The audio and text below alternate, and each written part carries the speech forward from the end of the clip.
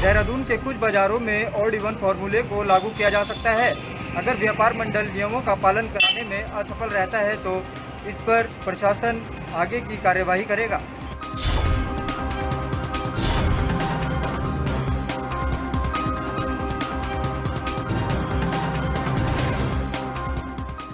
कोहराम थमने का नाम नहीं ले रहा। लगातार बढ़ते मामलों ने प्रशासन और स्वास्थ्य विभाग की परेशानियाँ बढ़ा दी हैं। वहीं अब कोरोना अपने पैर और ज़्यादा ना पसारे, इसके लिए प्रशासन शहर के हनुमान चौक, पलटन बाज़ार, झंडा बाज़ार और मोती बाज़ार में ऑड इवन फॉर्मूले को लागू कर सकता है। दरअसल बाजारों में कोरोना को लेकर बनाए गए नियमों का पालन नहीं हो रहा।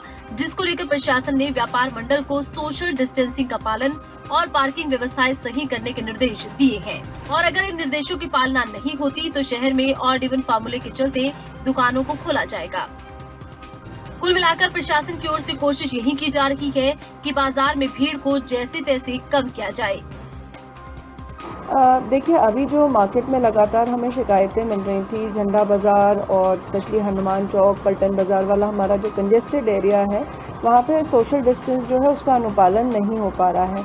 अभी जो हमने व्यापारी संगठन जितने हैं, उनसे वार्ता की है और उसमें हमारे अलग अलग पॉइंट्स जो हैं हमारे मुख्य बाज़ार में, वो हमने चिन्हित किए हैं। उनमें हमारे द्वारा बैरियर्स लगाए गए हैं। वाहनों का मूवमेंट जो है वो इन एरियाज़ में थोड़ा सा कम करवाया गया है। उनके लिए पार्किंग स्पेस चिन्हित किए हैं, जहाँ उनकी वाहनों को पार्किंग करवाया जा रहा है। तो अभी तो जो है व्यवस्था एक दो दिन हम इसी तरह से चलाएँगे और अगर व्यवस्था पूर्ण रूप से नहीं बन पाएगी, तब उसके बाद निर्णय लिया जाएगा।